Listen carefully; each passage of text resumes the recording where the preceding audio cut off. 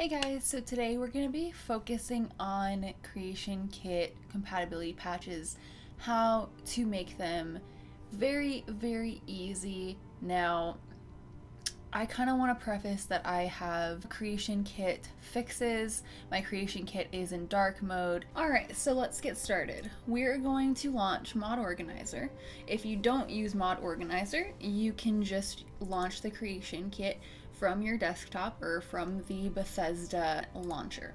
So, we're going to be running this right now. First, I'm to show you how to make a new patch.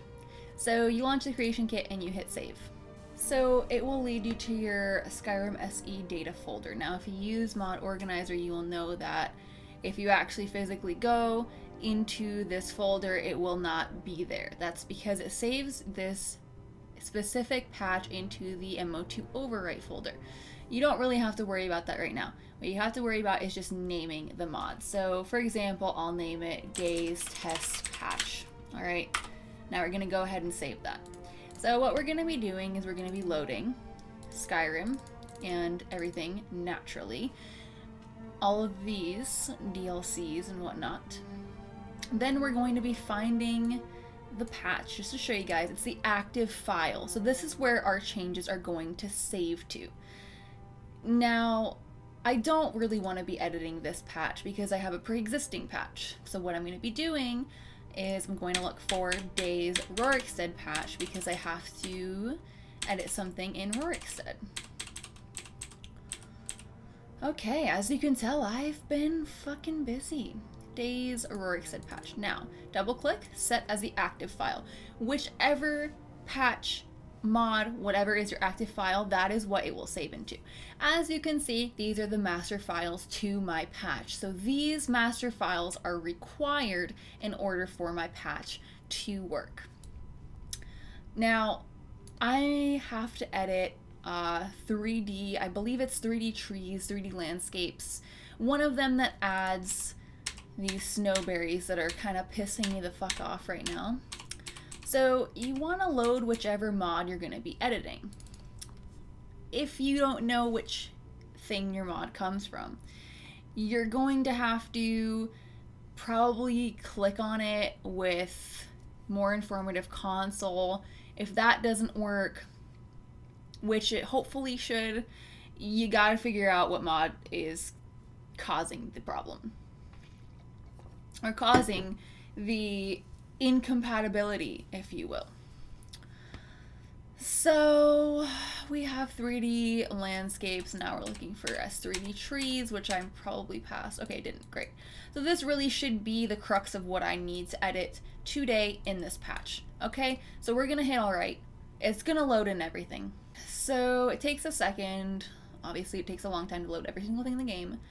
So if you're going to an interior cell, you're going to want to go under interiors. Let's say you got a fucking problem with, I don't know, mm, a floating lantern in fucking Volskygge. Then you're going to double click this and it's going to load that cell. For the sake of everything right now, exterior cells. We're going to be heading to Tamriel. Now, if you're editing Windhelm, there's a specific world for Windhelm. Same with Whiterun. You can see all of this here. Sovngarde, Skuldafn, Riften, Labyrinthian, Markarth World. Usually the main cities have their worlds and the DLCs have their own separate area here, okay? So if you're trying to edit, let's say, you know, Rorikstead, a smaller village, a smaller place, Shorestone, that's all going to be in Tamriel, all right? So we're going to boot up Tamriel. We're going to then find Rorikstead. You can click this and hit R, if that helps. Uh, so as you can tell, the little stars mean that we have edited in these areas before. So we're going to double press that. Double press, by the way. And uh, this is going to be our object window. This is mainly if we're adding stuff in the creation kit. Incompatibility patches we don't add because we want everything to be an ESL. I will make this bigger for the sake of the video, sure.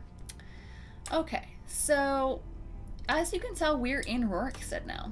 So there were these snowberries. Uh, by the way, I should be clear that I'm moving around with shift and the scroll wheel. So you can hear me holding shift and then I'm using my mouse scroll wheel to scroll around like a maniac, right? Okay, so see these snowberries were pissing me off, right? So you don't want to ever directly delete something from another mod. If you're adding something to your own mod, you can go ahead and delete that with no problem.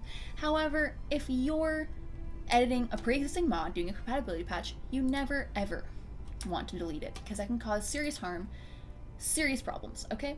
So instead you double click it and you hit initially disabled. Now, initially disabling the object renders it completely invisible in game.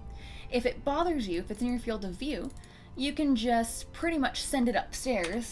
You can go negative 3000, sends it in the sky somewhere. You hit D on the keyboard to deselect things. Now, if you're ever locked onto an item in the creation kit, you can't really move the camera. So you hit D, deselect, and then you hold shift, and then you alter your mouse perception. Very, very simple. So what we're going to do is we're going to hit D, make sure we're deselected, and we're going to grab this annoying little fucker, and we're going to initially disable it. I don't really feel the need to make it disappear entirely by going negative 3000. I just want to disable it, right? And that's literally it. Then you just hit save on the patch and uh, it's pretty much done. Now, if you have floating trees or, you know, everything, I've already patched this place uh, for the most part. I'm sure eventually down the line I will find something like the snowberries, but now they're disabled. So let's say that you see that this tree kind of is sticking out a little bit. You're gonna grab it and you're gonna hit Z on your keyboard with left mouse click and you're gonna drag it under a little bit, right? And then you hold Control Z to undo that. So it's pretty basic, pretty straightforward. If you have intersecting trees, you know, you could argue this tree is a little bit close to the other one. Sure, we can just go ahead and perhaps move this one and then deselect, right? And then kind of just move around. And uh, this means that the mod is inside of a BSA folder. MO2 can easily extract the BSA for you, which is absolutely phenomenal. It's just, you need to make sure that the setting is checked off with that. So as you can see, I've pretty much done everything. I don't need to unpack whatever mod that is. It's irrelevant because that's that wasn't the cause of my problems in Rorikstead. So yeah, you can tell my LOD is kind of weird as well because LODs actually do show up in the creation kit from DynDOLOD.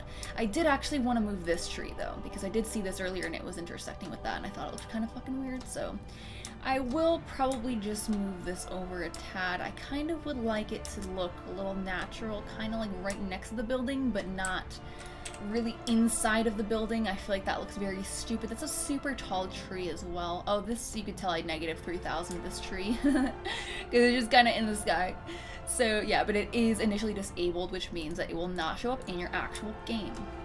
So, now we're gonna exit. That was pretty much it. It's very, very easy, very straightforward. Literally anybody can do this. Now I wanna show you guys how to get the patch, how to find your patch that you just made. Alright, so what you want to do, Creation Kit also does a not responding kind of shit a lot. as normal. So now you're going to see this here in the right pane of your mod organizer. Now you can open Origin and Explorer, and that's gonna take you right to where it is. All right. My overwrite folder is MO2 Skyrim mods overwrite, and it's gonna be in here. I copy it, I paste it to my desktop, I add to archive, days test patch. Alright, now I'm going to remove it from here. I'm also going to remove that from here as well. Unnecessary. And then we're going to exit. And this is now on our desktop. So we are going to then install this through Mo2. Install new mod from archive. Alright, so you're going to hit this. And you're going to find the mod. And you're going to install it from the archive. Now, that's kind of just if you want it to be over here And if you want to delete it from your archive folder, this isn't something that you have to do per se.